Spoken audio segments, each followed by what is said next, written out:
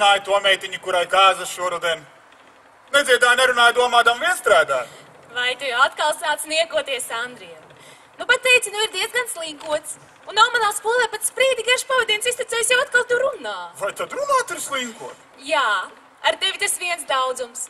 Vismazāk tad, kad abi esam mēs kopā. Tiklīdz tu tad runā, tu līdz tavas rokas stāv mierā. Es tev pateikšu, kas pie tā vainīgs. Ieva, Es? nu, kad, kad es ar tevi runāju, man gribot, negribot tevi jāskatās. Un, kad tevi skatos, es tak pastalējos un nevaru vadīt. Un kam tad tev tā gribot, negribot man ir jāskatās? Vaicā, kā nezinādam. Tādēļ, ka tu esi man izredzētā. Tādēļ, ka tu man patīc. Un tādēļ, ka tev ir tik skaistas acis. Ak, tu zobgāls, bet nu tu šo acu vairs neredzēsi. Lūk tā. Skaties, nu, un cik tad tu ilgi tā sēdēsi? Pieci gadi un seši mēneši. Ūja, ūja, vai tu tik traki gribēji slinkot? Nē, tik ilgs neizturēsies, neredzējis, un tādēļ es tik žēlīgi un paiesim šo mūžību. Par velti, puisīt, šoreiz tavās lūkšanās neklausīšos. Nu, ko tad lai dara? Lūkoši, lai ar vilšos atsūtīto pakulu gubu dabūtu sāņu. Ar viltu? Šis mani piesmiešot. Ha! Jāsmējas! Smejies, smejies.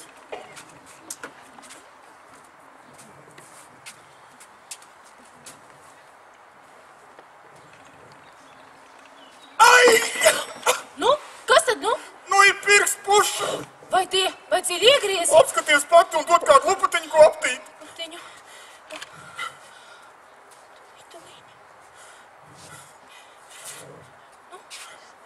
Šeit šāpti nātri kāds asins tev plā. Aptiņ tu pati. Nu, tīn, tīn ātri, nu.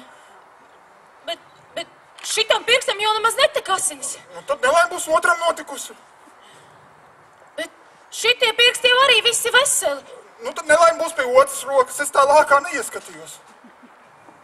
Ko tu runā? Šitie pirksti jau arī visi veseli. Piemānīja, piemānīja, lūkā piemānīja. Lūkā, ko dara noskrējis āņš. Ak, tu viens! Nē, nu gan. Nu, gan vairs neļaušu sēdēt aiz tām pakulām. Adrija! Jā, ātrāk nedabūs koders apakri, kamēr nebūs man devusi garu, garu un saldu, saldu mutīti. Ej, nu tu! Vienā diņā mutīti, ko zemnieki darba dienā var piemutēties, ko? Tad jau svētdienē nekādu saldumu nepārāk. Bet šodien jau ir svētdiena, un par to tu maza bēda, tas ir aizmidzis. Nodod, nodod to kodaļu. Izpildi, ko prasīja, tad došu. Nu, diena paliek kauns, bet skatoties, cik maz šodien esam pastrādājuši. Kas par kaunu? Ja jau nu darbu šai nedēļai nebūtu padarīt, vai tu domā, ka Jānis mums ļaut nodarboties ar tādiem nebekļiem? Man gluži šķiet, ka Jānis mūs ar nolūku ieslodzīja. Reiz mēs tā krietni? Vai zini? No sirds dibina. Nu, ko tad? Nāc, lai tev pateikšu ausī. Eh, eh, ka eh, ka nedabūji. Diev! Nu, labi. Ja tu esi, esi uz tos bučošanos tik kārs, došu tev mutes. Bet tikai ar vienu no Andru un Andriem. Nu, saki, Ja tu aizietām acīm vari mani saķert, tad vari bučot mani, cik gribi. Es arī drusku aplaukšķināšu. cik gribu? Šur plakatiņu, lai aizvien acis. Tā un tā. Un nu, uzmani gailīti, kas saķeri vistiņu. Gan jau saķeršu, gan jau.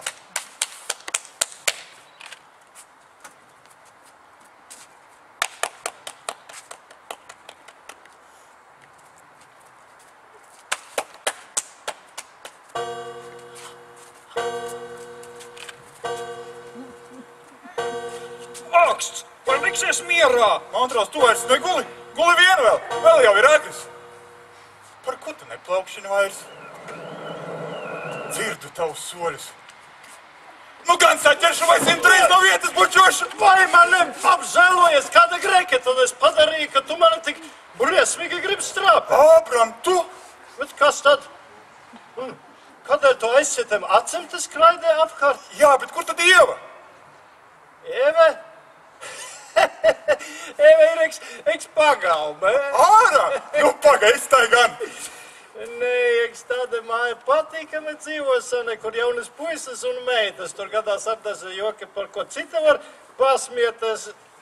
Tu! Kauns un negods tādā mājā dzīvot, kur tādi jaunieši kā šie te abi divi. Viens otru uzpasēt, viens zina vairāk nekā.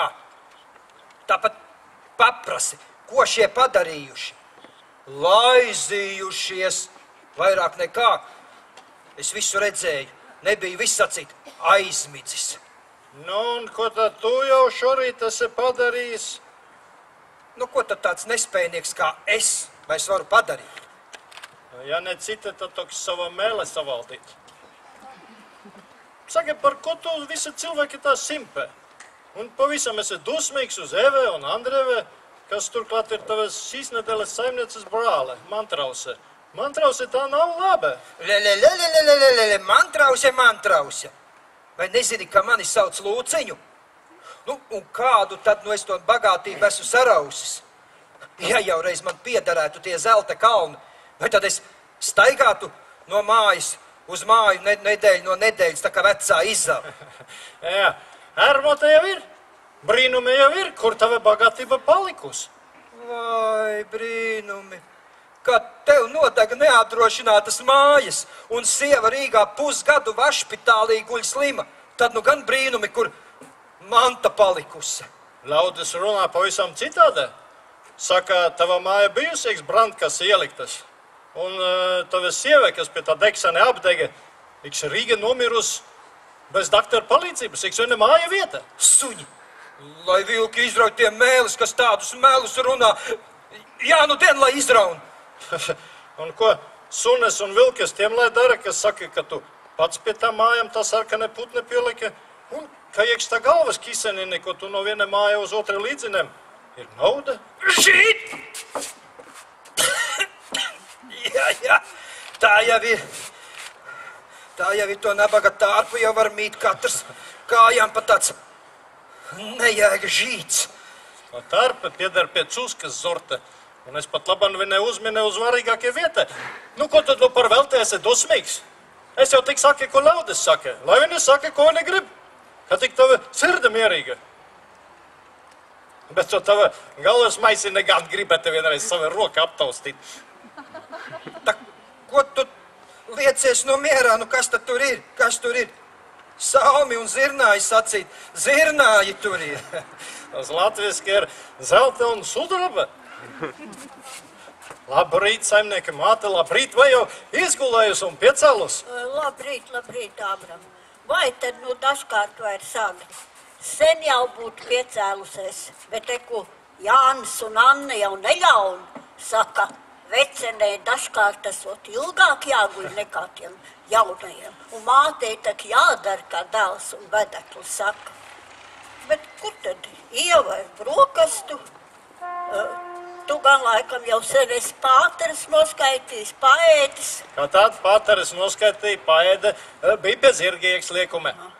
Apskatīja jūsu laukas. Ai, tava dēla nevar sūraties. Rodzes tavu kā mūra un uz mieze un apine tīrumas arī prieks skatīties. Nu, ja manam dēlam labība neaugt, kam tad lai tā dažkārt aug? Jānis jau tas darbīgākais saimnieks visā apkaimē. Zemi izstrādā kā dārzu. Tomēr viņš tiem citiem ne par sprīdi nav ticis priekšā. Nav ticis priekšā. Lūk, nu, kā gan tas Jānis dažkārt runā. Teica Dievu kungu, ka neesi palicis pakaļ citiem.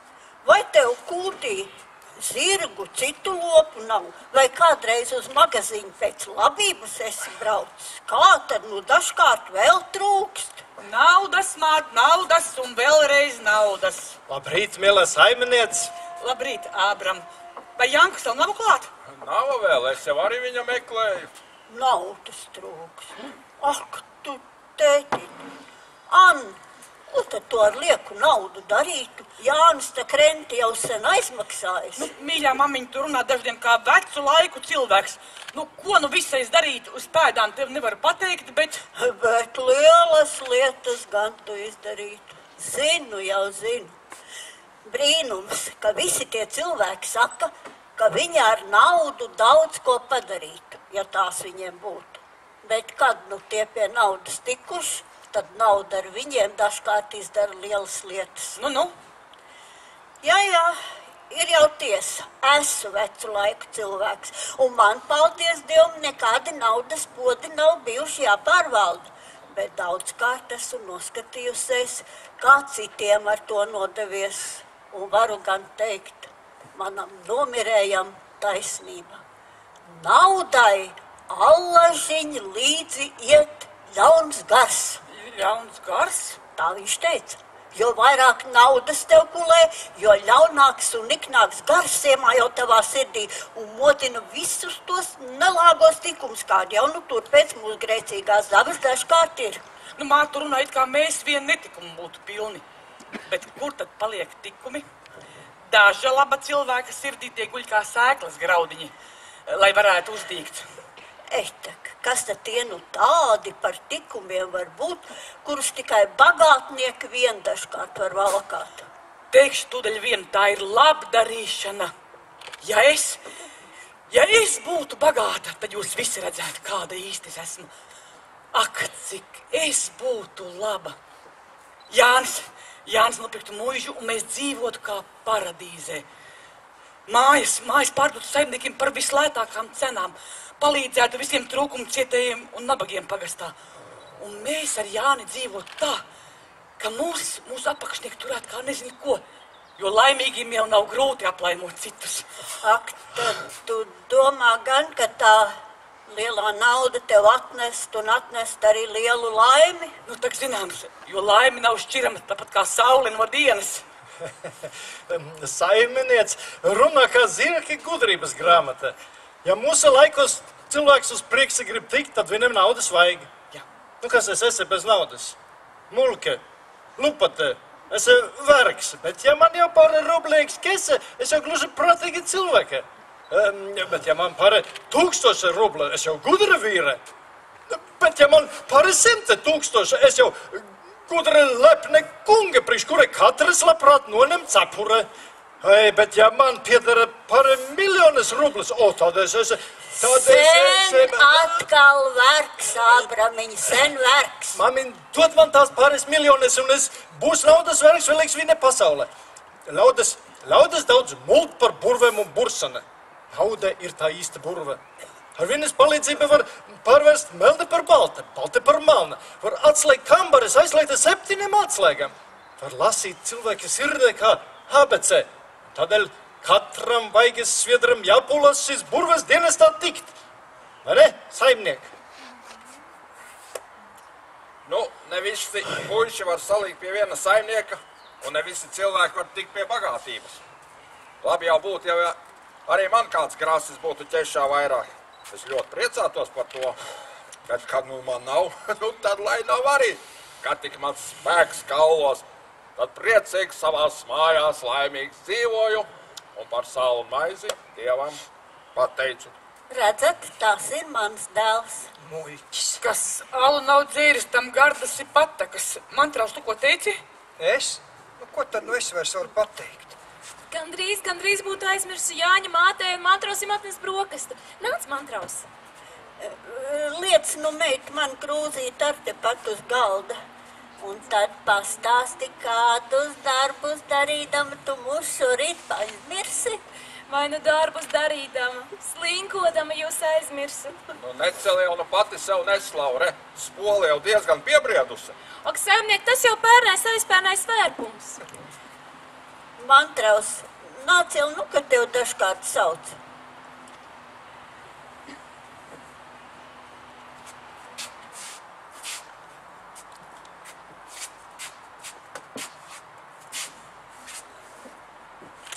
Nu, kā tu izgājušo nakti gulēji? Nu, kā gulēji, kā gulēji? Nu, kā tad uz salmiem un zirnājiem var gulēt? Va, vai vieta bija par cietu? Nu, paga, kamēr tu ēdīsi viņu drusku šķubināšu. Pagaid, pagaid, pagaid, nevajag, nevajag, gan es iztikšu, gan es iztikšu. Nu, nē, nē. Tas man trauc to gultiņu apsargā, kā nes kas tur būtu apslēpts. Ko var zināt, varbūt ir ar. Jā, es taču izgājušo nakti par mantraušu gultiņu, noredzēju ērmotu sapni. Nu, die tas bija viedīgs sapnis.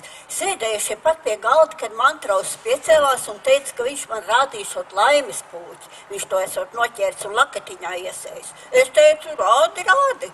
Tad viņš izņēma no gultiņas kaut ko pusapaļu, nolika uz galda, atraisīja lakatiņu.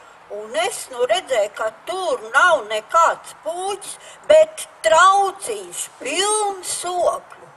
Apkaunējies, man trauc paķēra lakatiņu, aizsēja to sev acis, sāka smieties, un no tiem smiekliem es pamodos. Tā, tāds sapnis.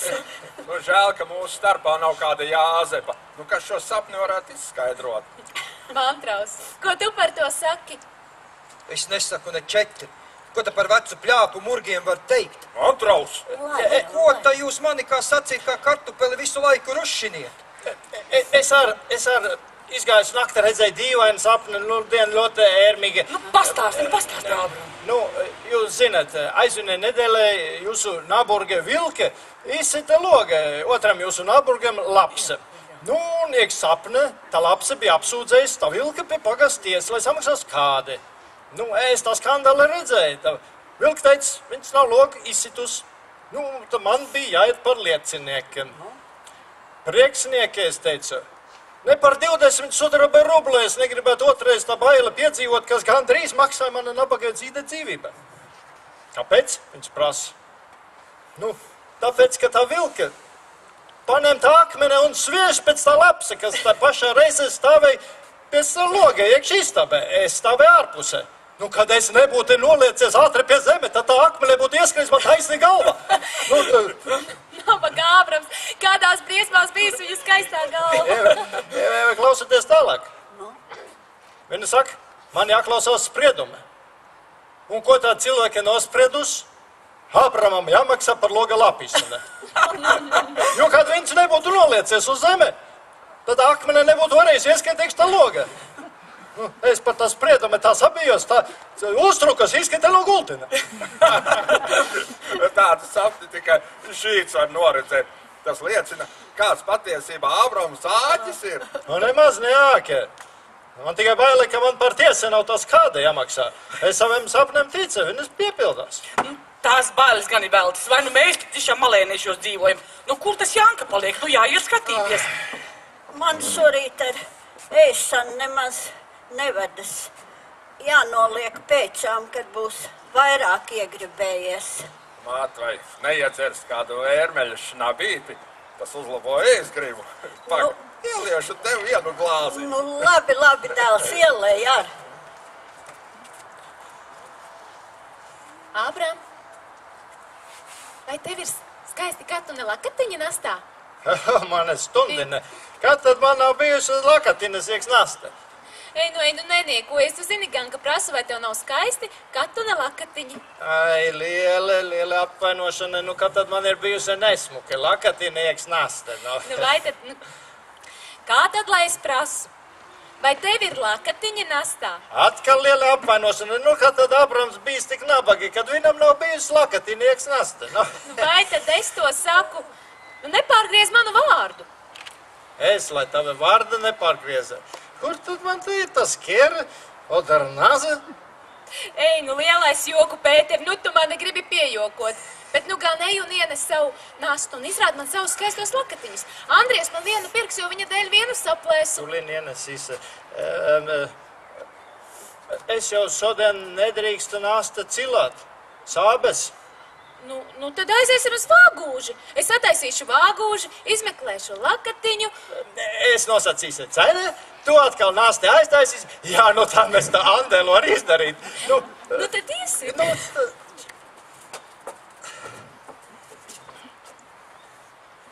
Ak, tad nu beidzot tie sātani atstājuši mani vienu pašu.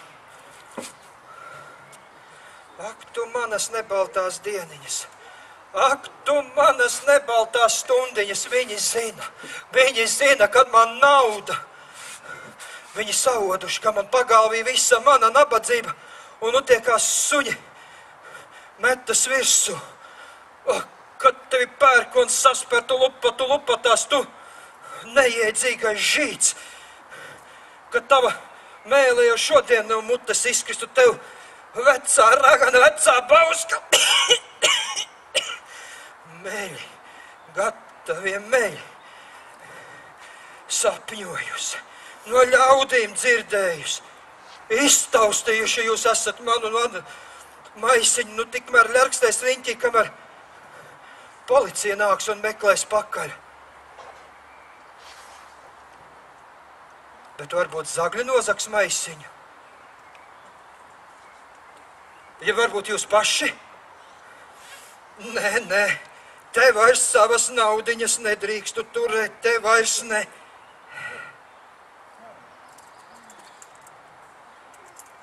Jā, te iekšā ir ogles, kas mūžam nebeigs kvēlot. Te ir ogles, kas jau dažu lielu, lielu ugunsgrēku ir sacēlušas. Te ir ogles, pie kurām vienīgi vēl mani vecie kauli var sasildīties. Jūs, mani zelta gabaliņi, cik reizi jūs man nesat devuši jaunus spēkus, kad noguris pa svešām cisām vārtījos, cik reizi jūs ar savu lēno, lēno iežvadzēšanos esat teikuši, guli mierīgi. Tavs prieks un tava laime vēl ir pie tevis. Bet nu jūs vairs nebūsiet pie manis. Nē, nē, nebīstaties, ka es jūs došu svešās rokās. Drīzāk jau es mirtu, nekā jūs kādam citam atdotu. Darīšu pēc tēva tēva senās ierašas, noguldīšu jūs mūsu mīļajā zemītē. Bet zeķi var drīz satrūdēt. Ņemšu šo te krūzīti.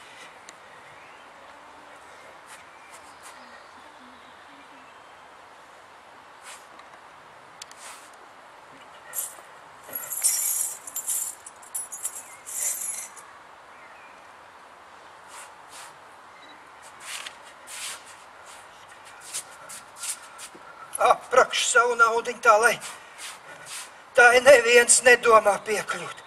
Nolādēšu kā naudu tā vietu, kur to guldīšu. Ā, Mātros, tu te? Gribi iet ārā pastaigāties, ej, ej. Ārā liekas labs. Jā, jā, tas acīt palika nelabi ap sirdi. Iešu svaigā gaisā.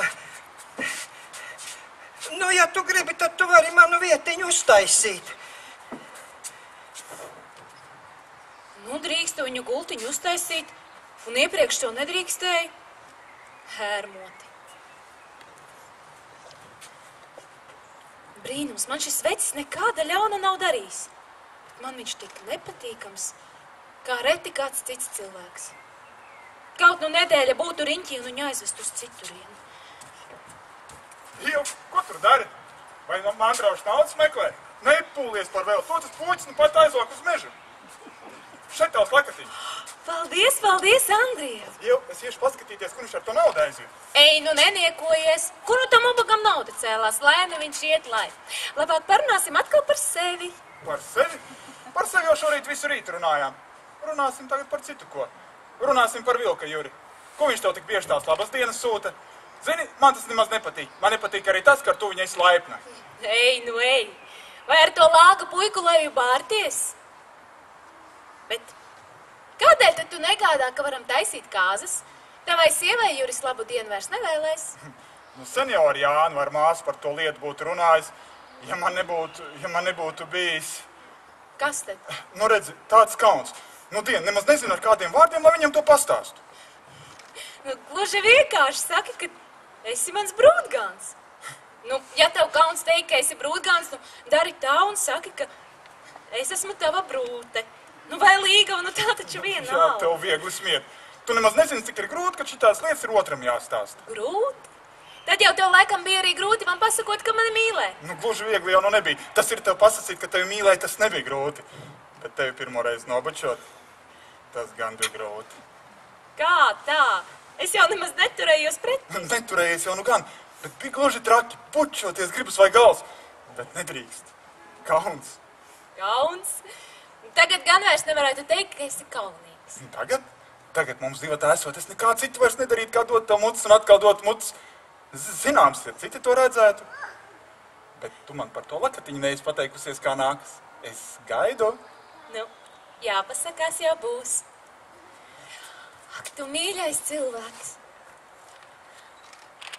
Šeit tev arī kaut kas. Ir gan tikai misiņš, bet, lai gan ābrams apgalvo, ka esot apzeltīts, kas par to? Zelta vai misiņa? Gredzenam nav iesākuma un nav gala. Tāpat kā manai mīlestībai. Jau, jau. Es varētu trakt palikt savai mīlestības. Kā šodien Jānis dabūs visu zināt? Ievinnēt, vai tu neesi dažkārt redzējis, kur es savu palāpiņu esmu likus ar savām tumšajām acīm? Nevaru un nevaru tā ieraudzīt. Jāņa māt, es zinu, kur tavs palāpiņš ir. Nu, Šeit? kad tu izšķibētu pašas priekšautā, bet es meklēju un meklēju. Ak, es vecā cāļa Nu, galva. nemānies, Jāņa māt, nemānies. Tu visu redzēji. Es redzēju, nu, tu brīnums, ko tad es dažkārt redzēju? Nu, kā mēs bučojāmies. Jūs bučojāties, vīdiet, to es dažkārt nemaz neredzēju. Jā, un tu jau arī sen zini, ka mēs viens otru mīlējam. Tu tik tā izliecies, it kā nezinātu, un pazaudēji ar vienu palāpiņu, tuteniņu, lāpām adatu. Tieši tajā acu mirklī, kad redz mūs viens. Un pat tā lūk, lai ēta reizi atkal aiziet. Bet šoreiz te pieķērām pie lielās blēdības. Nu, lai nu viens cilvēks dažkārt paklausās, ieviņmēt, ko tas Andrievs tur runā. Patiesība, patiesība, mīļo māmiņu. Ak, tu brīnumi, brīnumi. Nu, nenospied manis, nenospied. Laid labāk, lai apsēstos, nes ko vēl uzzināšu, tad jau būs labāk, ka sēd. Citādi tie jaunumi man vēl dažkārt nospers gar zemi. Ak, tad eh, jūs viens otru mīlējat. Nu, skaties, skaties, kas to būtu domājis. Jā, un mēs gribam drīz precēties, un pie tam tam mums jāpalīdz. precēties. Eku labi, kā apsēdos. Bet vai tad uh, gribēsiet mani par vedēmātu vai vakarainieti? Pastāsti Jāņam, ka gribam precēties. Tev veicīgāk valoda. Jāņemāt viņš tevi tādēļ tā slavē, ka pašam esot kauns runāt. Bet tu gan runās ar saimnieku, ja? Nu, ja jārunā, jārunā. Vai tu līņa? Runāj, tu līņ! Nu, labi, labi. Jāni, Jāni, dēls, panāc šurp. Nu, Man ar tevi jārunā par vienu svarīgu lietu. par kādu tad? Nu, piesēsties, dēls, piesēsties. Nu, dien, nemaz nezinu, kā lai iesāk. Nu, redzi, man ar tevi jārunā par to pašu mīlestību. Par mīlestību. nu, vai tad to uz vecuma dienām būs sākusi mīlēt? Ko? Ei, nu, tu joku, Pēter, kur tad no es dažkārt? Bet paskaties tos divos. Nu, die, ar tiem abiem vairs nav lāgā.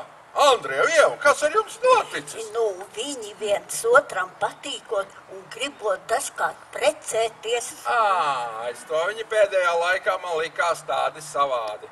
Un tagad Andrijs grib dabūt zināt, kad varēs dzert kāzas. Nu, tā jau ir, tā jau ir. Bet par ko te viņš pats te runā? Nu, redzi, esot dažkārt tas pats kauns. Kauns.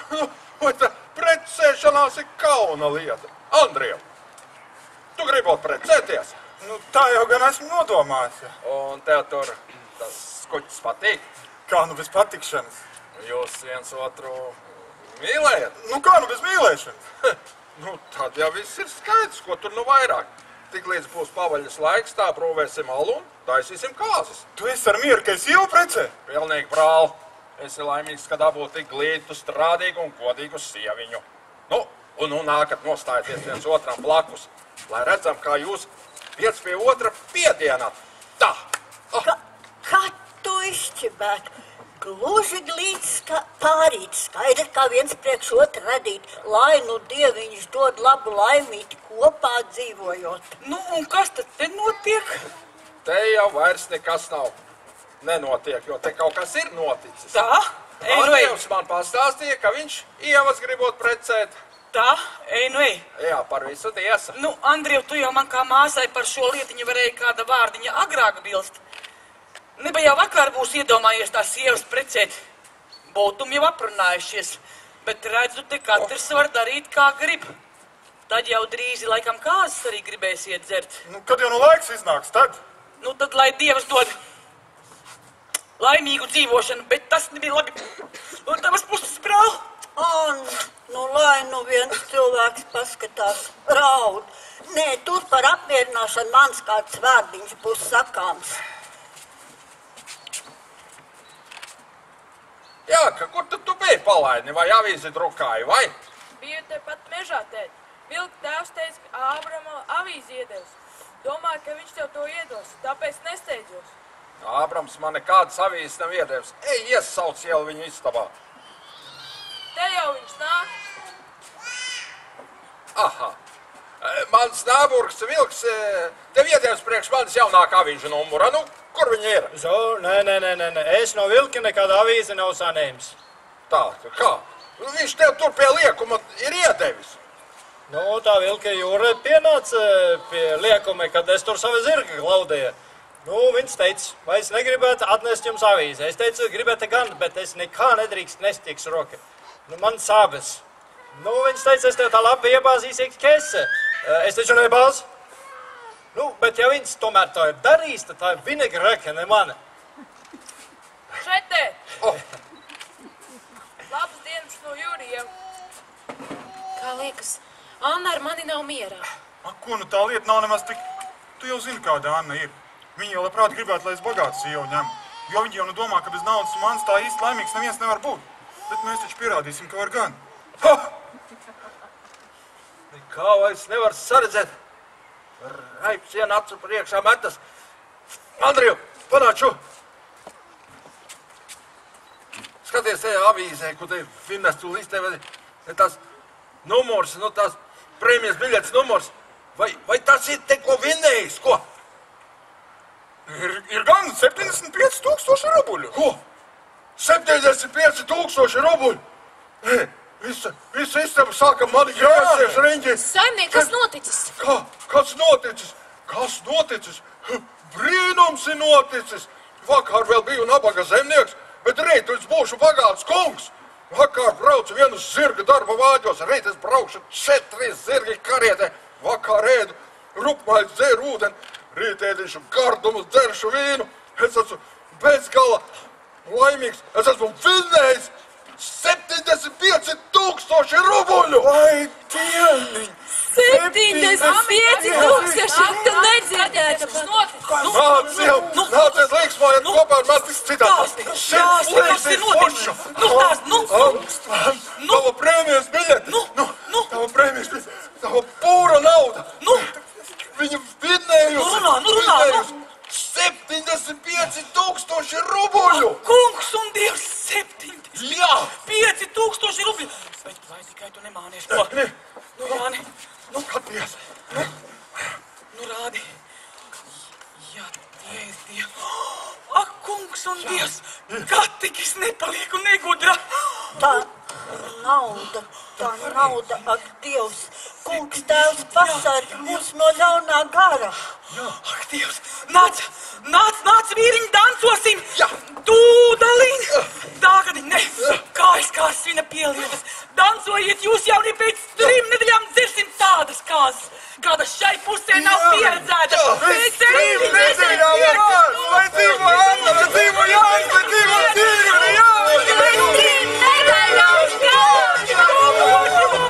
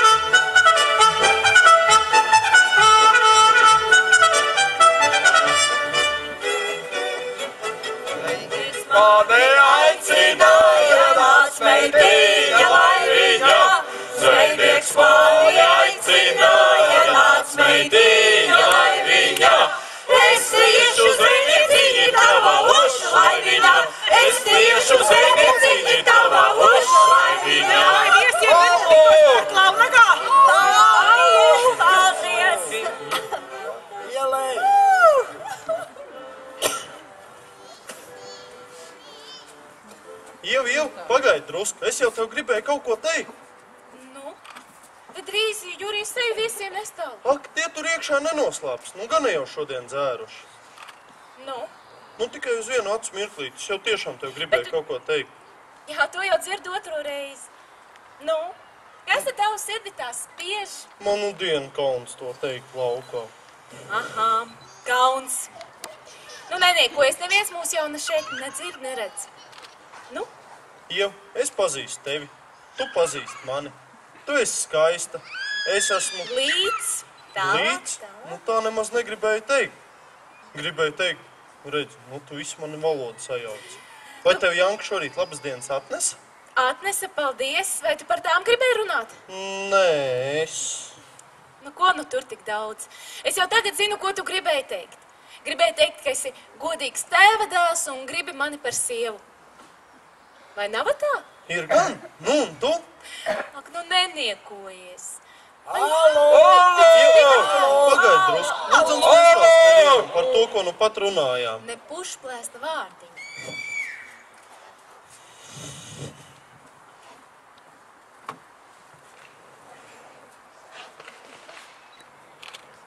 Vita atgāja launagā. Tāt labi. Nu, viņa līd, al klūdi atkal iet uz paglabu. Un tad viņai teica, ka viņu grib pletēt. Un tad tēt tu viņu dabūķu. Vai nē, tu glīt puika? Un bagātai. Tā un liela māja. Ai lielu apeļu daldu. Ko tad tas jaunais labs te dara, ka nenāk klaunagā? Viņa negrib noķelt doti. Noķert zosi? Tad jau es laikam traucēju. Neņem ļaunā. Ko nu par to? Tūliņ būt lokā. Vai di? Tēt man atļauj pletēt iet. Nu, nu tad precējies, precējies. Pagaid, tu vēl visu nēti dildējuti. Bet zināt jau visu zinu. Un to, ko tev teikt laukā, ir ļoti liels kauns. Kaunt? Nē, et tak tevi gribu pletēt. Ar manu vai bez manas ziņas? Zinām tad tavu diņu. Nu, tad tu laikam gribi zināt, ko es atbildēšu. Nu, ka? Nu, tad es pie tevis gan neiešu, kamēr savu sagaidīšu. Bet pagaidi, apdomā. Tēt man to jādod māju, kas būtu jāpletējiet. Liela māja, ai lielu apeļdātu. Valkā pats tautu dēls savu mantu bagātību, es pie tevis nelaužos, neņem manis valodās. Katiet, nu? Tām tak taitnība. Viņa mani neglib. Bet nu ietu launagu nēdīt pilnu vēdelu, lai nedomā, ka man viņa ģēl.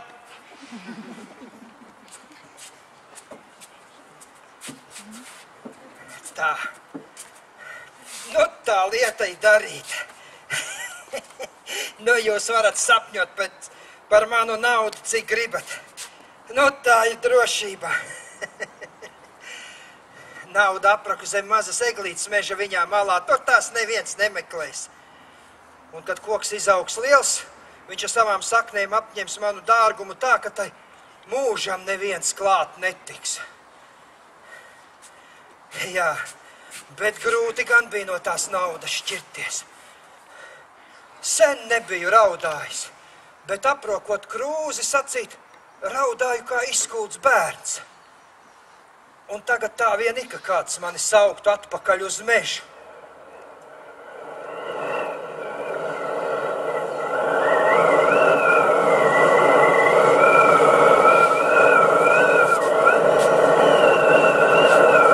Bet kas tad, kas tad te ir noticis? Ko tie zaļumi lai nozīmē? Nu, mantraus. Pusdienu neesi mājās bijis, domājam jau tevi meklēt, vai? Būsi gluži padā nomiris. Ej otrā istabā, tur jau citi ēd. Pagaidi, ko tie zaļumi te nozīmē? Un kāpēc tu sestdienas dienā sacīji tā izģērbusies? Tu jau vēl nezini, kas šeit viss noticis. te tagad iet kā pa sapni. Saimnieki vinējuši 75 tūkstoši rubļu. Saimnieks jau no pusdienas aizteicās uz Rīgu. Saimniece atbraukusi viešņa māsa Līze. Atnākuši arī viņauši, kas par to lietu dzirdējuši. Vilka tēls ar Juri, lapsa tēls ar Pieteri. Un tagad mēs ēdam, dzeram un lustējamies kā ap Jāņa dienu. Pusmuca bairiša drīz būs tukša. 75 tūkstoši viņa sacīja. 75 tūkstoši tie lupatas vinnējuši. Ak, tu kungs un teitīt, kas tā par milzīgu naudu. Nu, vai tad tā nauda nevarēja man, man krist cilvēkam, kas es protu naudu cienīt un glabāt? Bet nekā, nekā tā nāk tiem, kas to izšķieš par alu un brandvīnu. Ak, Dievs, jāiet ir laukā, lai es nedzirdu, kā tie laimīgie muļķi trakto.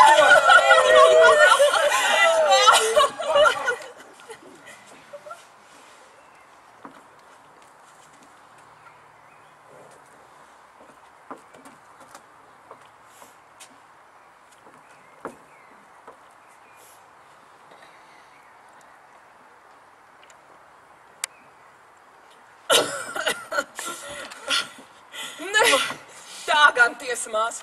Kad mājās pārbraukusi vīram stāstīšu par jūsu laimi, nu viņš taču man neticēs un neticēs. Tik daudz naudas. Oh, tik daudz naudas. Nes cik nedēļās to varēs izskaidrot? Vai zini, ko maz? Kad Jānis viņu būs pārvedis mājās, es nākšu talkā. Un vai zini vēl ko maz? Nu, tu jau kādu simtiņu man tūliņu varētu iedot līdzi. Nu, lūk, lai mans puisis iet stīts. Nu, dabūsi līstu savu daļu, dabū, dabūsi nebīsties. Tik līdz Jānis to naudu pārvedīs mājās. Vai mās, cik tu lapa! Nu, tad jau šo albi ar pāvus pāvu un sarkanajiem bumbuļiem, to tu man tūliņ dos līdzi. Nu, tu jau to veco krimilu tāpat vairs galvā neliksi. Un šo pleca lakatu ar man meitenei svētdienās nekā nav ko siet Nu, galvu. ņem jau, ņem ar žēlīgu dievu. Bet paklau, meitenei gan būs liels prieks, paldies, paldies. Bet es tev pirmīgi lādē redzēju tādu parupju līnu audekla baķi. Vai tad nu jūs vairs rupju audeklu liksat pie mieras? Čigāniete. Nu, cik tad nolikšu gribēsi? Cik nu gribēšu? Nu, nu, nu, nomet kādiem pieciem, sešiem kakliem, nu, varbūt visiem 12. Un, ja tev ir gluži devīgs prāts, nomet vēl kādu gabaliņu mārtiņšām priekšpiksītēm. Vai tad vēl kā netrūkst? Pēterīt pavisam es aizmirsusi. Vai tad viņam nevajag jaunu jostiņu vai cepurīšu? Skati par Pēterīti viņi ir iedomājuši. Nē, nē, lai nu tā šoreiz paliek. Citā reizē gribēšu vēl ko vairāk. Un nu sēdi. Līdziņ. Nu, nu, tā lūdzu.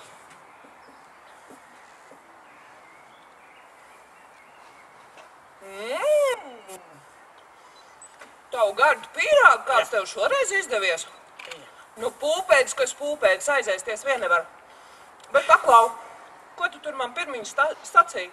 Kad es tev rādīju, cik tas Andrijos pret Dievu labi izturas, tu man sacīji, ka viņi esot brūtgāns un brūti? Ej, nu ej! Tā jau nu tas ir. Apžēlojies! Tu tak tagad neļausi brāļam precēt prastu kalpa meitu. Es jau tā visu laiku baidījos, ka tik mūsu vienīgais brālis neaprec kādu plunsku. Bet nu jau, no ievas vairs nav ko runāt. Nu, ja tā laime būtu vakar atnākusi, bet šorīt no rīta nospriedām, ka pēc trim nedēļām Andrijam ar, ar ievu jātaisa kāzas. Ak, Dievs žēlīgais! Viņai 75 tūkstoši kulē, un viņa ļaus brāļam precēt prastu kalpa meitu? Nu, tad jau laikam ar ievu paties ar mieru. Nu, ko nu es ar mieru? Es jau vēlētos, lai Andrijus aprec skolotu, nu, feinu meitu tādu, nu, Nu, nu tādu, nu, kas prot jā. un klavieres un latviski pa jaunai modai runāt. Nu, tāda, kas Rīgas skolās bijusi, un pie Šneiderienes. Nu, tāda Andrievam pēc viņa kārtas pienāks. Bet, ja viņš apņems to ievu, tad tas mums visiem par kaunu. nu, būtu jau viņam divi jāizšķir. Un nekas nav vieglāk izdarāms par tā lietu.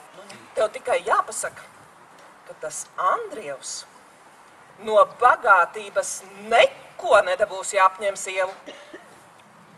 Bet ar ievu, nu ar to nekādas pakas nav jātaisa. Tev tikai jāpasaka, ka viņa tagad Andrievam ir par prastu, un viņš viņas vairs negrib. Glīti ir diezgan gan dabūs citu. Nu, Vilka Juris būtu pirmais, kas viņus uzrunātu. Nu, tad uz labu izdošanos. Nu, tad jau, lai viņu precē to vilku. Bet ar tiem abiem ir jārunā to liņu. Nu, lai neizliekas viesu priekšā tā, ka var manīt. Tiesa gan. Tik līdz būs izdevīgs brīdis, es ar viņiem abiem diviem runāšu. Un ja mēs viņus izšķiram, tad gailis par šo lietu nedziedās. Jo no svešiem vienīgi šīts visu zina. Bet to pašu ieva nozvērināja, lai ciešot klusu. Jā, laikam jau tāpat saprastam, ka tur nekas nesanāks. Nē, nē, šai nepatīkot, ka par viņu un Andriju runā. Labāk, lai par šo lietu no kanceles dabū zināt. Ā, nu tad jau gluži lētu reizi viņas būs izšķirt. Bet tagad nāc maz. Nu, iedomām kādu ķisanu un sagu. Iešu dažu stūrī kaut kur nosnausies. Es no tā brauciena un no tās laimes esmu gluži vai apsēbusi. 75 tūkstoši. Jā, tā liela Nu, nauda. tieši tā, 75 tūkstoši. Vilks! Vilks! Vilks! Vilks, vai tu nu mani aprīt gribēsi? Nu, lai tā pagaidi vaļā, lai! Vecais pūčs, šoreiz vilks tev ribās iekodīs, zobus parādīs, lai man sirvi māc, vainīgs duši pataisīs, sabal jēkam. Ko tu no manis gribi laid mani vaļā? Kliekšu, ja nelaidīsi! Lieksi! Liec! Kur tu liki man māsu Rīgā izvedis? Nu, prasa kā negudas. Ziepēs tak sacīt neliku izvārīt. Tā tev tagad žēl, tu elles kāsi. Nu, ko tu no manis gribi laid tak? Kur tev nelaidīšu, kā man nebūs viss izstāstījis? Kas notika ar tavu sievu? Vai tu viņai Rīgā ļāvi bez daktera palīdzības nomirt? Nu, visu Rīga tagad runāja, ka tā ugunī tā aptekus, ka tur vairs neviens daktars nevar līdzēt. Tam dēļ tu ne pirksta nepakustināji. Mēli! Mēli! Es tev nopirku pudelīti bromeļas un vatis pa 20 kapekām. Par 20 kapekām! Es tev karsta svina par 20 kapekām! Ai, cilvēki! Mīklis! Kas te notiek? Lapsa, palīgās! Ierā nabur! Klos, laižat man vaļā, man tas slepkaureiz jāsot! Ierā Bet kādēļ nabur! tā? Taču, zini, šīs laikos taču paši sodīt nedrīkst. Tad vedat viņu projām, lai nav jāskatās! Vai jūs zināt, ko jaunu čigānu sabraukuši mežā aiz mājas? Aidie! Kas tev? Nekas tas pats vecais dūris, laid man jāiet spirtā gaisā. Nē, Ķigāni! Nu man neiet piltā gaitā, lai vetā ķigāni idīla kā dievu dabūķu. Nāc, čurdēls! Nu, dod roku! Labs skat! Vai nav krietnes puika? Jā, jā, nabur, krietnes cilvēks, krietnes. Jā, tādu tais laikos nav daudz. Jau 22. gada, bet vēl ne reizi nav bijis sadzēries. Nu, vai tas nav brīnums? Tēvs dzer, dzeramo. Dēls nedzer. Nu, nu, nemaz tik traki nav ar to tavu dzeršanu. Samuel Jākop! Ir nu gan traki. Ja man tāda dēla nebūtu, zini, dažu labu muļķību būtu sastrādājis. Nu, labi, dēls, ka tu man neļāvi tam māsas vīram to rīkli pārspiest. Es tev ļaušu, ko sen jau gribēju. Ne ievu uzrunā. Nosarka! Ei!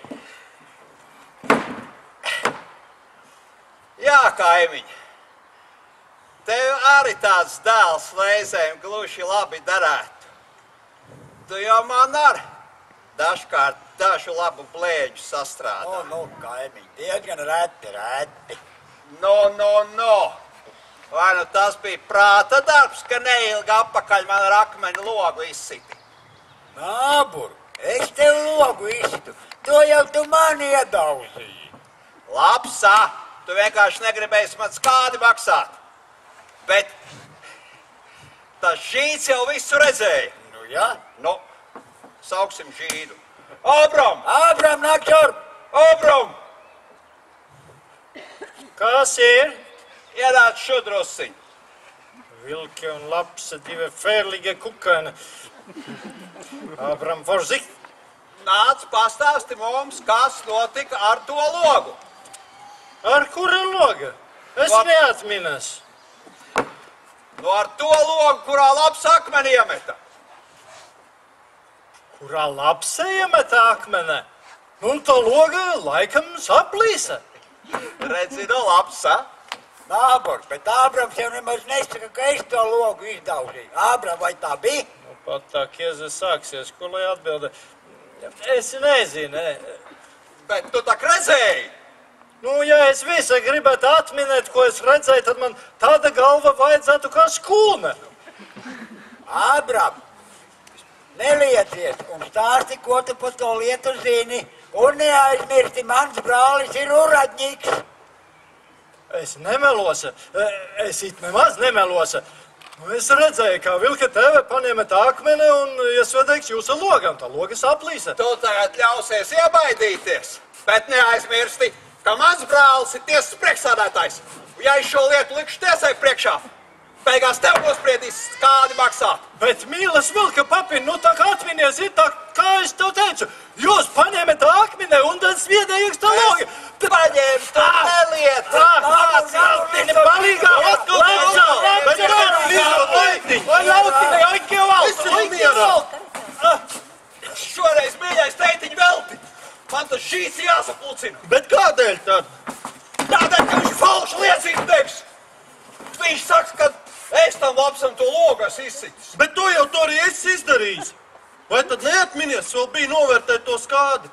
Novērtējuši 4 rubļu un 95 kapekām. Es? Bet es tā vien domāju, ka labs dēls. Redzi, tas viss no tās dzeršanas. Tas no tās dzeršanas.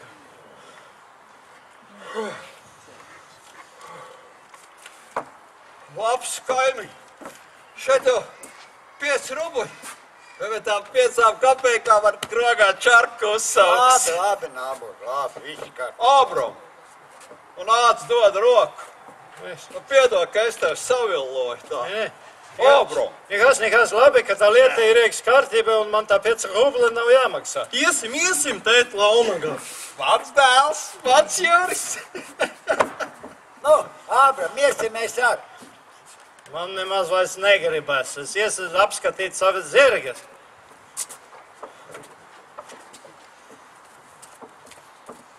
Jā, panāc druskuļi šurp. Domāju, ka būs labāk, ja īsākiem vārdiem saku, kas man sakāms. No tevis un Andrija vairs nevar iznākt pāris. Nu, nu. Es nemaz nejokoju no šitā acu mirkļa, tu vairs neesi Andrieva brūte. Ak, tu mans dievs, bet kas tad ir noticis? Nu, Andrievs tapis līdz ar mums bagāts, un to tu pati teiksi, ka tā sieva, kas kalpam piedienēja, vairs kā bagātniekam nepiedien. Bet tu pati vēl šobrīd vēl teici, vai mēs galvenējot, ka rīt varēšot dzert kāzas pēc trim nedēļām. Tad es tā teicu? Varbūt es neatminu, kas tajā brīža nejēgumā kādi vārdi man būs sprukuši pār lūpām. Un Andrijus, vai viņš manis arī vairs negrib? Andrievs, jā, zināms, viņš arī tevis vairs negrib. Han, vai tā tiesa? Tu dzirdēji, ko es teicu, un vēl kas uzrunā mani uz jūs un sauc par madāmu, jo redz, man tas gods tagad pienākas.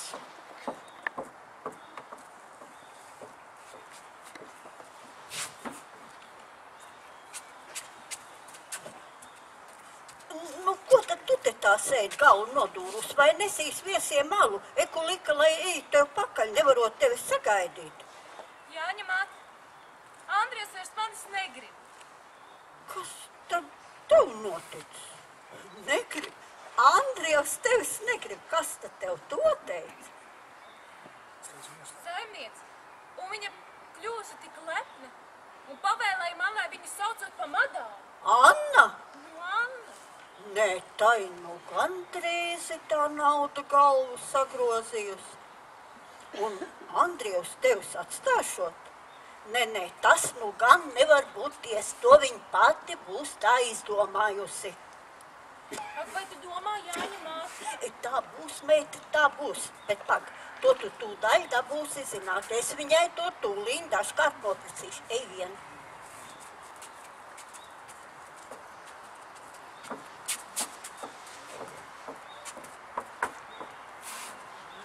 An, ko tu tur ar to ievu par ļambas esi iztaisījusi? Nu, ko tu šitā vaicāt, tad jau zinās, kas ir noticis. Nu jā, un es to vien gribu zināt, vai no tiesas Andrievs ievas vairs negrib. Es viņas negribu, un ja es viņas negribu, arī Andrievs viņas negribēs. To nu gan tu nevari sacīt. To es gan varu sacīt, jo to, ko gribu es, gribēs arī Andrievs.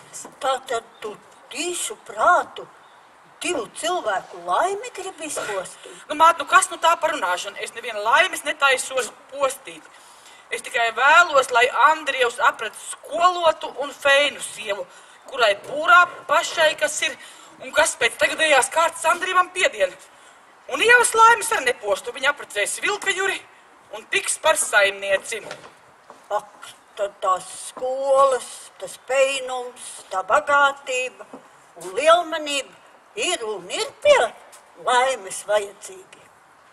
Bet, bet tad jau laikam tu līdz šim biji ļoti nelaimīgi, jo tev nebija ni skolu, ni peinumu, ni bagātības, un pie lielmaņiem jau tev ar neviens nepieskaitīja. Māt, tu gribi sākt ar mani ķildoties? Nekliedz, nu tā es jau dzirdu vēl gluži labi. Lai nekliedz, nu pietiek jau, ka baramies. Es baros ar tevi. Nu, lai nu- Kaunies ar Antā runāt. Lai nu kaušanās paliek, pietiek jau, ka baramies. Ar vien labāk. Ar vien peināk. Jā, arī man tā liekas. Ar vien labāk un ar vien peināk. Es dažkārt vīrmāt, ko te teikšu.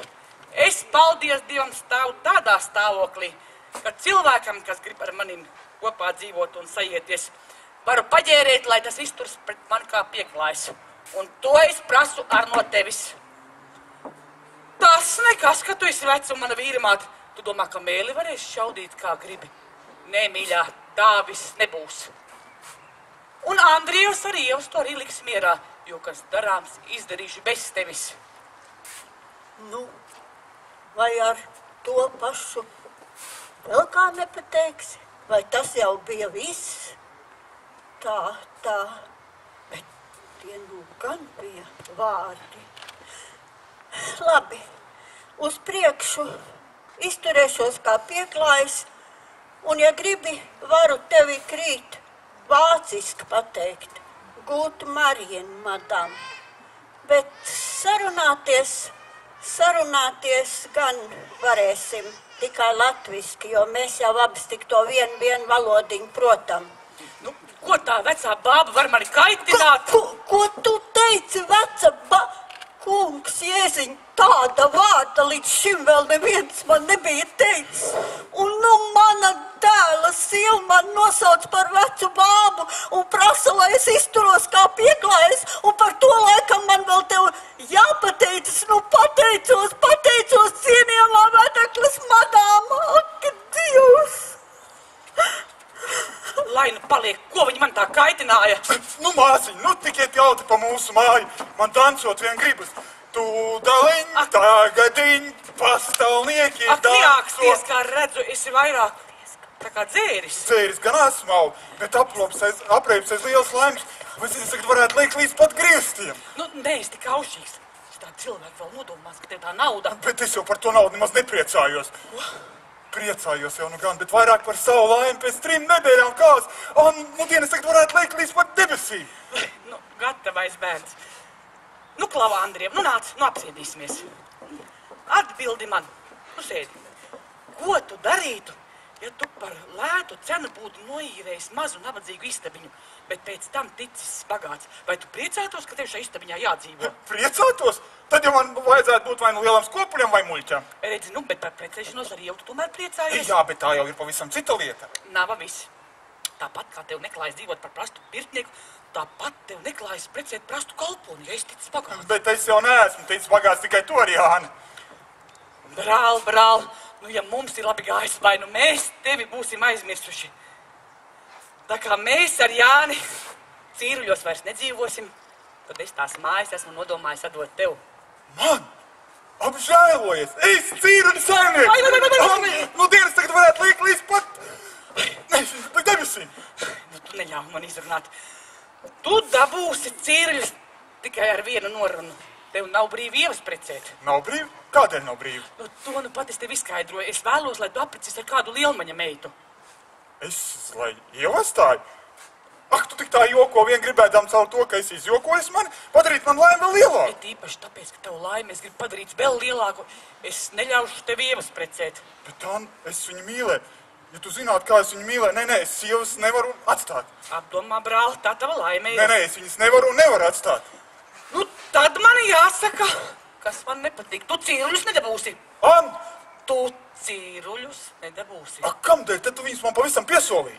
Vai cilvēkam tur maz ir jāapdomājas? Šie ieva un grūts kalpa vīra muštu, pretī viegla dzīve cīruļos. Ej, kur gribi, dari, ko gribi. Cienība visā pagastā, pilnība visās malās. Un sieva, un sieva bagāta mātes meita. Nu labi. Atstāšu ievu. Varbūt varēšu viņu aizmirst.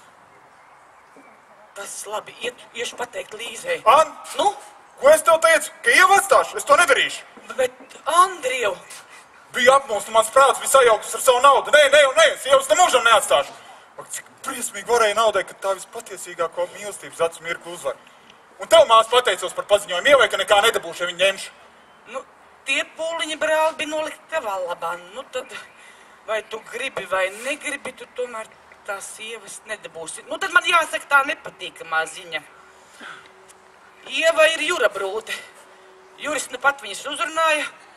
Viņa pa priekšu gan viņam atteica, bet izdzirdusi, ka tu nekā nedabūsi, ja viņas precēsi, viņa bija ar mieru iziet pie jūra. Tu tikpat viņas atstāšot, un labāk izskatās, ja viņa pa priekšu tevi atstāja. Tā viņa tiešām teica. Nu, teica vai neteica, bet uz to pusi gan bija. Tā tā labs mētājs. Un tev mās otrais paziņojos. Par paziņojumu ievai, ka nekā nedabūšu, ja viņu ņemšu. Tagad tu man izsmēji, bet drīz pateiksies no visas sirds. Drūmi. Kas pēc šī rīta galvenai būtu varējis domāt, ka plauna laikus te sēdēšu viens ar tik grūtu sirdi? Man ir tā, it kā kāds man akmeni būtu uzvējis uz krūtīm. Tik lēti man atstāt un apsolīties citam. Jau, jau, tu man nekad neesi patiesi mīlējis. Jau, dod man drusku ko nodzerties. Krūze ir tukša. Es nu pat eju. Dod man to trauku, es iešu. Juris tev uzrunāja? Jā. Tu esi prātīgi, meitīva, ka tik ātri esi sapratusi, kas mūsu abu laimē tas derīgākais. Tālūk mēs izvairāmies no veltīgām garām runām, veltīgām asarām. Tā kā neviens seši izņemot ābram nezina, kas mūsu starpā šorīt notika. Tu, ja gribi, vēl šokar var sacīt it- citiem, ka esi jūra brūta. Viņa cieši klusu. Annai tiešām taisnība. Vai es redzu sapni, vai esmu nomodā? Vai tas tiešām bija Andries, kas man tos briesmīgos vārdus iecirta ausīs? Ak, tu mans dievs! Nu, visa mana laime vējā! Viņš mani atstāja. Bet, ja nu, arī tagad neesmu priekš viņa laba, diezgan. Kādēļ viņš mani tur par tik nekrietnu, ka tūlīt tieši otram kārties kaklā. Vai jebkad esmu devusi iemeslu no manis tik nelabi domāt? Dievs, cik man grūti ap sirdi! Es īšu ārā, tur man paliks labāk!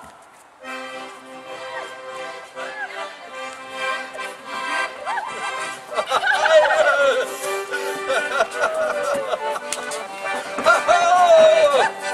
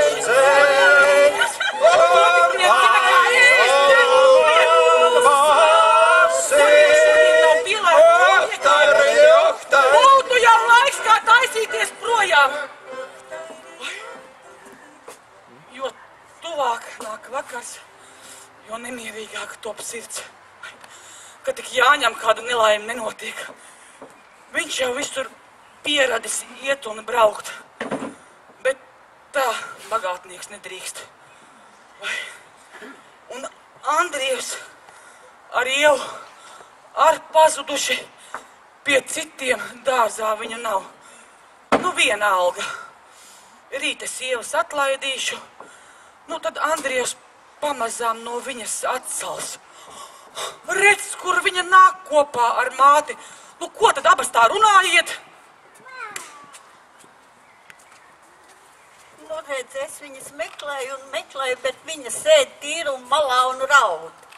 Nu, ko tu dažkārt raudi, smejies labāk? Nav nemaz tiesa, ka Andrievs negrib tevi. Ak, Jāņa māte mīļā nejoko, mana sirds gauži sāp. Nu, ko es piejokošu, ko? Nāk, nāk, viss no Annas. Tikai jau ar viņu runājusi un ar Andrievu lai. Jāņa māte, tas nevar būt. nu, kas nu man tur ko mānīties? Ticu. Nu, jā. Ticu. Bet cik nekrietni tad saimniece ar mums abiem ir izrīkojusies? Ko tu nu pateici, kas izturējās nekrietni? Atbildiet man pa priekšu, vai tā ir taisnība, ka jūs tiešām gribat izjaukt mūsu un Andrijas apprecēšanos? Izjaukt, es vienkārši aizliedzu Andrijam tevis precēt. Nu tad vēlreiz saku, tava izturēšanās ir tiešām nekrietna. Ak, tu vēl man nekaunies tādas trupības acīs te- teikt. Tas ir par daudz tūs vietas no mana dienesta. Esi atlaista, vari iet, kur gribi. An, klusu, nu. Vai tu domā man to pārmācīt, ka man atlaid? Mani tu atlaid. Un strādīgam cilvēkam visur maizes diezgan. Tu mani atlaid, bet Andrija tu turēdama nepieturēs pie sevis. Kur es iešu, tur Andrijas nāks. Liec, cik tu gribi. Mēs apprecēsimies un dzīvosim laimīgi. Jūs dzīvosiet laimīgi. Es tās laimes pazīstu, kad trūkums pa durvīm iekšā. Tā mīlestība pa logu laukā. Vai liepiņa Matīs mīlestība, kas pērn pie mums dzīvoja, nebija tikpat liela kā tavējā un Andrieva? Negāja viss pie bagātās salgožu meitas. Mira nostājas mīlestības kalpa meitu, paņēma to. Tas bija pērn. Bet šogad ko? Šogad liepiņš vaicā sievai, lai atdod tās mājas, ko viņas dēļ zaudēja. Gribu zināt, ko tu atbildēsi Andrijam, jo arī viņš būs zaudējis viņam apsolītos cīruļus. Andrievam cīruļi apsolīt. Ja, un cik viņš par to iedomās, ka tu esi atpestīsi viņu būt cīruļos par saimnieci, tik viņš tev rokas nobučos. Un tādēļ turies pie viņa, cik nu vien varēdama.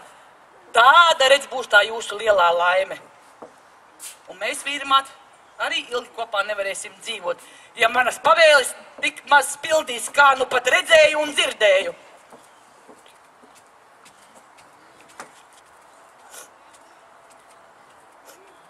Viņai taisnība. Man no Andrija ir jāaiziet.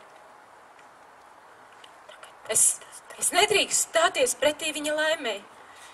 Nedrīkstu aiztaisīt ceļu uz bagātību un labieklāšanos.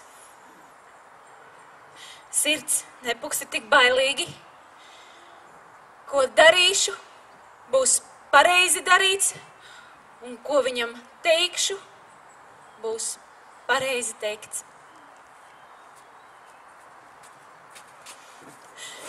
Īsta mīlestība nemeklē sava laba. Te tu esi. Un šie te es esmu aizgājis uz mežu. Ja viņa vecā māte man visu izstāstīja, nekas nav tiesa, viss bija Annas izdomāts, un esmu tik priecīgs, tik priecīgs, un lūdzu tev simtkārt piedošanu. Man tev nekā nav ko piedot. Nav, bet tev izturēšanās rāda, ka ir gan, ka to, ko tev pirmie teica, es ņēmu par ļaunu. Es neko neesmu ņēmis par ļaunu. Tu tik tā joko vien nāc. Andrija, liec mani mierā. Es tu dienu nesaprotu. Neesi dusmīga, neesi tomēr tāda. Vai pietiek ar to, ko tev teicu? Bet man tā jāzina, kādēļ tu tā runā. Andrija, neturi mani vairs par savu brūti. Es tu dienu nesaprotu. Tad tu, tad tu iesi pie jūra? Es neiešu pie jūra. Kādēļ tu liedzies drīz tā lieta, tāpat visiem būs zinām? Jau, jau ko es tev esmu tādu darījis, ka tu man šitā atstāji? Jau. Es tev pēdējo reizi prasu. Tik tiešām atsaki? Tā. Nu, tev tic. Nu, zini, kas tu par meitu. Nu, zini, ko tās labās dienas un tās labās satikšanās ar to lāga puiku nozīmēja. Tu mani tagad viņa dēļ atstāji. Jau, jau. Ja tu zinātu, cik daudz tu tagad zaudē.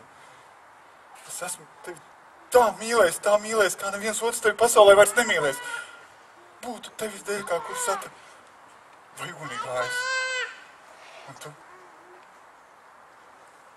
tu mani atstāji. Labi. Kam jānotiek, lai notiek? Šeit tev atpakaļ gredzens, ko tu man šorīt dāvināji. Es par viņu ļoti priecājos. Lai gan viņš nav zelta un šis spīdošais tik, viņš tik izrāda dārgu akmeni. Bet tagad, cik uz viņu skatos, tik viņš man teiktu. Tikpat neīsts, cik es esmu. Tikpat viltīgi ir mani devēji.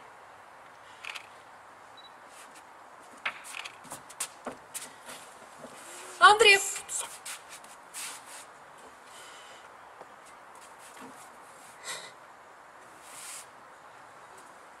Kas tad tev noticis? Visi citi līksmojās pa pagalmu un smējās, bet tu raudi. kam prieki sirdī, tas priecājas, kam bēdas, tas raud. Vai tu par ko bēdājies? Vai tavu bēdu nevar aizdzīt? Manu bēdu man neviens nevar atņemt. Nu, kas to var zināt?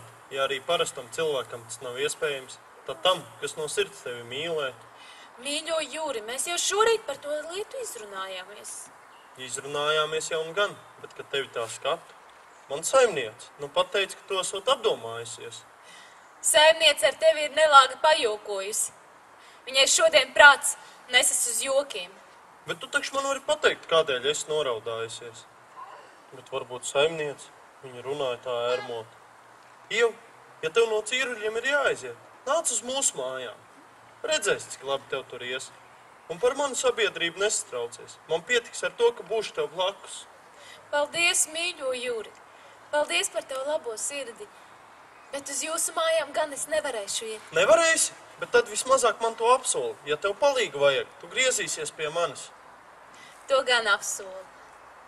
Mīļo Jūri, tu pret mani esi par daudz labs. Lai Dievs tev to apmaksā. Iev, es tevi daudzreiz esmu redzējis sapnī. Iev, kaut tu zināt, nāk, man nav laimes. Mums abiem nav laimes, brāl. Redzi? Tur to gredzenu. Tur guļ mana laime. Ak, kaut ar šo gredzenu es spētu atdot tev visu tavu laimi. Paldies, mīļo Juri. Šo mīļo vārdu es nemūžam neaizmirsīšu. Paldies!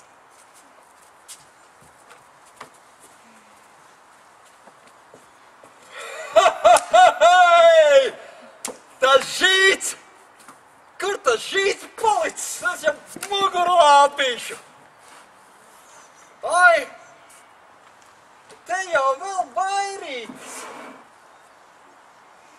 Paskat! Veselu grozu no krogas atnesuši!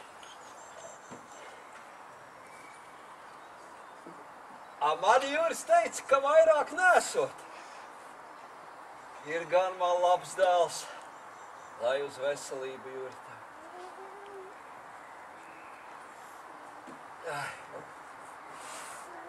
Samal jākam, bet nu ir gan labi.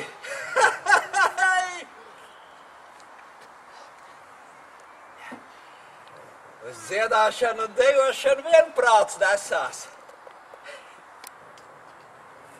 Lai iet! Apsakloju belu kuili, hei, hei, hei, hei, hei, apsakloju belu kuili, hei, hei, hei. Ops, ops, ops, nu ir balle beigta. Ops, nu ir vilks grozā. Nu ir ķeza.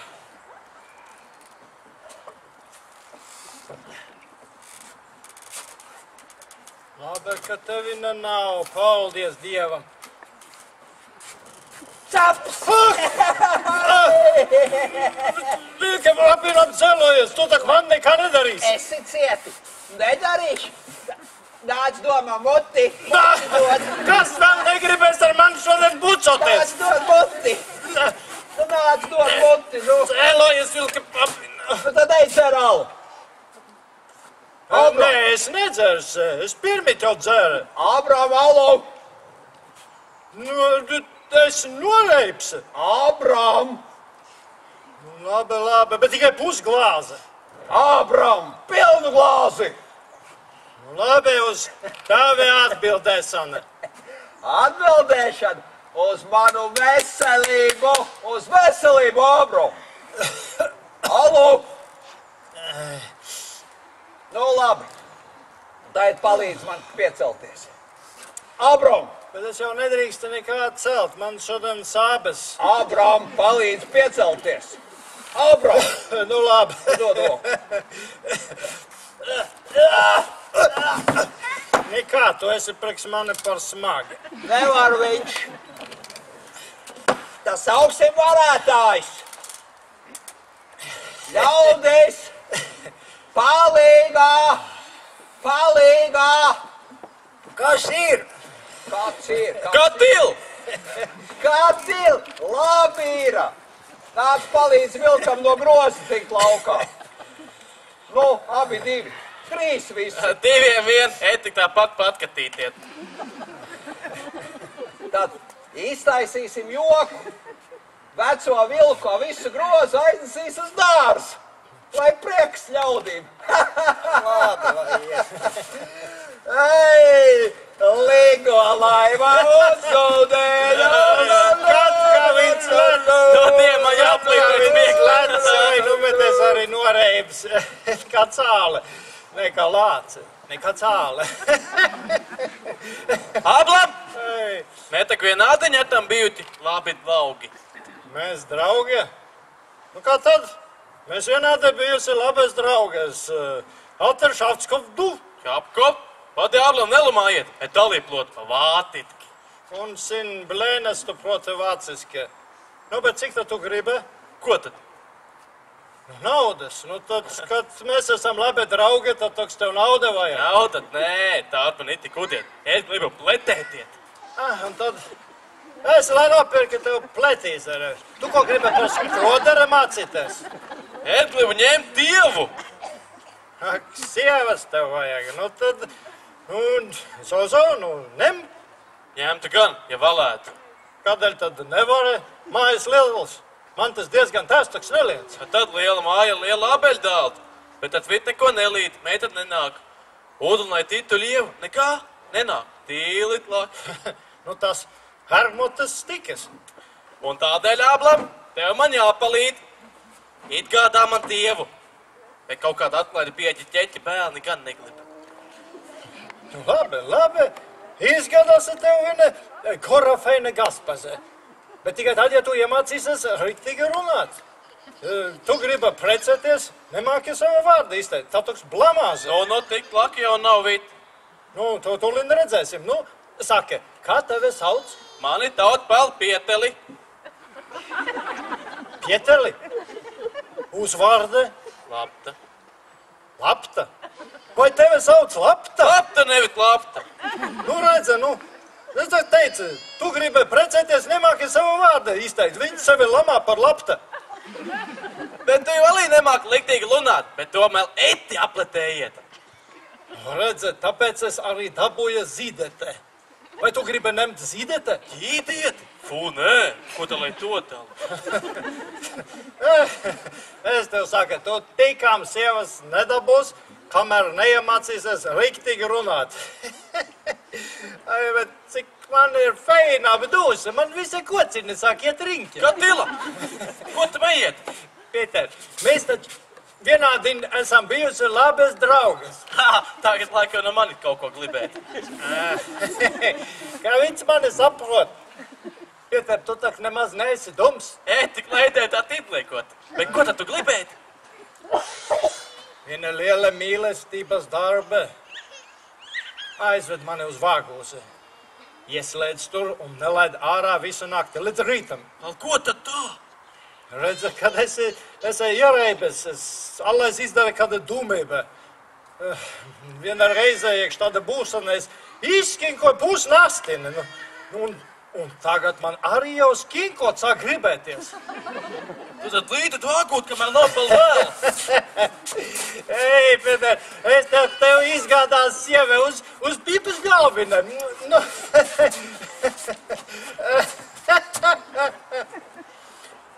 Bet es nesaprotu, Jāni, kādēļ esi atgriezies vai aizkavēji vilcienu?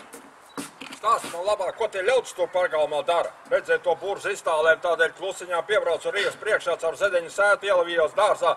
Saka, pa priekšu jādzird, ko tie ļaudis runā, pirms parādos viņu priekšā. Nu, bet kas tie tādi ir? Tie tak mūsu tuvākie kaimiņi izdzirduši par mūsu lielo laimi. Tie tūdaļ steidzās šurp pacienāju ar alu, ar brandbīnu. Nu, ātrumā, kas bija pie rokas. Saka, tie dārzā danco un līksmojās. Tā, tā, tā. Ar alu un brandavīnu. J- Jāni, es nesaprotu, tu tāds nemierīgs. Es? Antu, esi labu joku iztaisījusi. Es? Kādu joku? Nu, Iev, ko tu gribi? Vai esat krietni izdancojušās? Saliku savus mantas. Kas par mantām? Madām jau jums droši vien būs teikusi, viņa mani atlaidusi. Atlaidusi. Madāma, sarēķināties. Un varbūt tu arī gribi sarēķināties. Pamanīju tos vāģus rīs priekšā. Un nāk un saku tev, ka var meklēt citu puisi, ja tev puiši vēl vajag. Es vēl šodien no cīruļiem aizēju. Aizvien labāk, aizvien raibāk. Varbūt vēl kāds grib aiziet. Tur jau nāk māte. Māte vai tu rīt vai parīt arī domā aiziet no cīruļiem. Ak, tad Anna ar to par tevi jau runājusi. Iešu rīt no rīta dēls aizvedīs mani uz meitas meitu. Cīruļos jau tagad visi kakti pilni laimes, tad jau saprotam lieta tādai vecinē, kā man šeit vairs rūmas nav. Cīruļos pilni kakti laimes. Ha! Cīruļos pilni kakti nelaimes un nedzirdēta kauna. Jāni, es nesaprotu, kas ir noticis. Ah, kas ir noticis? Labi, es tev to izskaidrošu īsiem vārdiem. Tu par agresi sākusi dzīvot kā lielmāte. Mums šobrīd nepiedara ne graša vairāk kā vakar ap šito pašu laiku. Jo tas mūsu papīrs ne graša nav vinnējis. Mēs neesam nekā vinējuši. Visi prieki ir bijuši veltīgi. Pasaulē izlaistās ziņas par mūsu laimi ir bijuši meli un māņi vien. Tad, tad man jāmirst no kalna un svētēji. Vai viņi pagalmā dzied augstu laimi un prieku? Vai lielāka pārsniešanās, jeb kad ir dzirdēta un visiem šiem cilvēkiem un visai pasaulē, lai stāstam, ka esam nabagi kā bijuši. Un rīt ceramies ar raizēm un vakaros ar tām liekamies gulēt. Ja tā ir taisnība, tad man jāiet un jādara sev gals. Bet viņu ant, attopies. Ak, kā lai attopās, ja domās, tu esi nopircis mūžu. Bet tagad jādzīvo nabadzīgā būdā. Kāds to nelaimes vēstu dabūja zināt? Nu, kā nu dabūju? Nu? Pa ceļam iegriezos Brencēnu krogā izdzert pudeli alus. Un dzerdams ieskatījos krodzinieku jaunākā avīža numurā.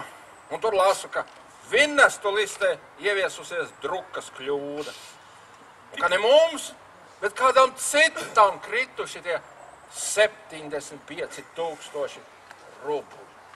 Tik tiešām visa laime vējā. Nu, cilvēki varēs rādīt mums ar pirkstiem un teikt, te, kur iet vienas dienas mužnieki. Kad es, kad es par to iedomājos, tad man stāv zemē gribas iegrīt. Nu, negražojies, nu kā bērns. Tas kauns nebūtu tik liels, ja tu šeit pa māju tādu lērumu nebūtu iztaisījusi. Viesus saicinājusi, sanīdusies. Tad, ak, tad es būšu tā vainīgā. Bet kas ar to laimes papīru pa istabu skraidīja kā negudrs? Vai tas bija pareizi darīts? Es ar to laimes papīru tikai pa savu istabu skraidīju apkārt. Bet, nu, kad jau nu tu sāc te pārmest un izmeklēt, kurš vainīgs, tad neaizmirst, ka nesen apakaļ es to laimes papīru gribēju pārdot. Un kas tā bija, kas man to neļāva? Nu es, es jau redzu, man jau tas nelaimes papīrs piederēja. Bet pie cīruļa Jāņa tas stāvēja tādā cieņā, diez vai es būtu cīruļa saimniece, ja man tas papīrs nebūtu piederējis. Um. Es atceros, cik toreiz tavā saimniecībā grūti gāja. Un ka tūdaļ pēc kāzām tev tas papīrs bija jāieķīlā. Bet šurp nākdama uz cīruļiem, es domāju, būšu jau nabaga vīru laimīga. Bet nu man tās cīruļu laimes ir ar kalnu. Tu atdosi man to papīru, un es zināšu, kas man ar viņu jādara. Ak, tu dievs, kungs, kad tu manu likteni esi nolicis tik grūtu un turklāt vēl tā pārbaudi kā šodien, un pēdīgi ļauj izcelties tādam naidam, tad stāvi man klāt, ka es neizdaru kādu negantību. Vai tu jau mājā, tēt? Nāc apsties, ko es atradu. Ah, kas? Janka? Tu? Kas tas? Zelts? Kur tu to trauciņu dabūji? Mežmalā aiz mājas čigāns stīvējās ap mazu eglīti. Man eglītis pie žēl, teicu, lai liek mierā. Viņi izrāva eglīti un aizskrēja prom. Es sāku rakt tajā vietā, kur izrāva eglīti, raku raku un izraku šo krūzīti. Man šķiet, ka šī krūzīte ir mūsu krūzīte. Palīgā, palīgā, cilvēki! A, kas tam noticis? Palīgā, palīgā, saimnieki, saimnieki, vaidieni! Nāc, čigāni mani apzaguši! Saņemies, Mantraus, ko čigāni tev Ak, nozaguši? neprasi, ko viņi man nozaguši, nāc, palīdz saņemt viņu ciet! Saimniecība mīļā, dārgā, žēlīgā, nu saki saimniekam, lai viņš nāk man līdz, nu es tev lūdzu, rokas kājas buļķot! Mantraus, Mantraus! Nu kustaties cilvēki nežēlīgi, un es palikšu ārprātīgs! Nu, mēs jau tev labprāt palīdzēsim, tu tikai pastāsti, paskaidro. Pastāst, izskaidro, pastāst. Čigāni, čigāni man naudu nosaka! Naudu nozaguši! Atpakaļ to šodien zem mazas eglītes meža viņā malā. Nu vairs ne naudas, ne eglītes dobi viens sacīt palikusi. Ah, nu, saņemies, Mantraus, nu, nu daudz jau tev nebūs, ko tie čigāni nozaguši. Mēs tev to naudu atkal sametīsim. Nu, sametīsim, sametīsim, jā.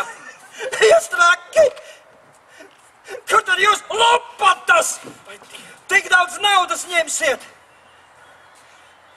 Samet man pilnu krūzi zelta naudas un tad dod man to! Še! Nu, ņem tak! Tā ir tava nauda!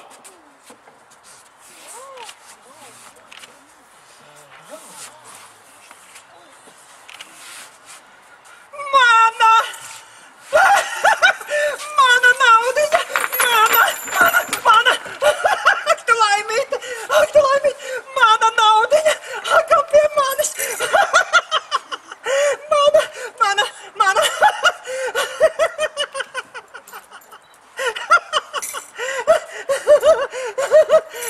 Nē, deg, deg, saimniek, ko tu man esi iedēvis, tas ir dzīves logus. Saimniek, saimniek, skaties, ko saimnieks iedēvis. Pārprātīgs. Dod ūdeni, ko uzliet. Izkaltāts tas atkal paliks pa naudiņu.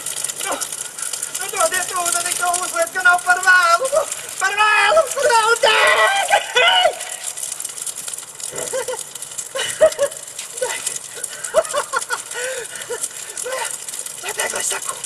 Tas atzīt man būs nauda.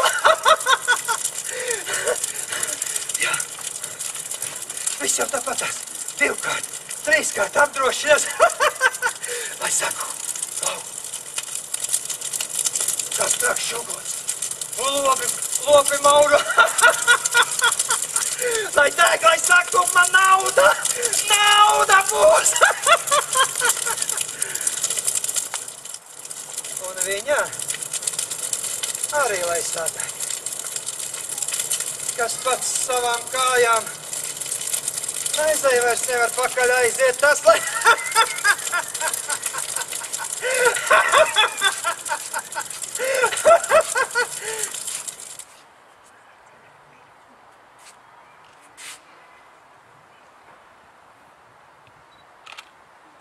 Tik vien palicis no manām mājām.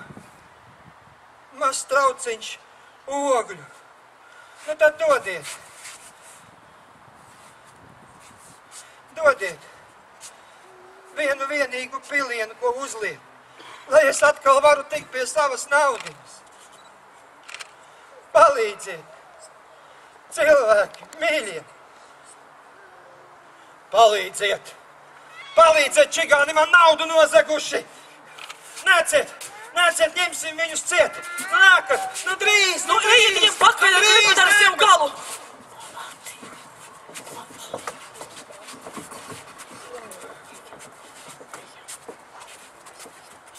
Jāni, Jāni, vai tas nebija briesmīgs notikums?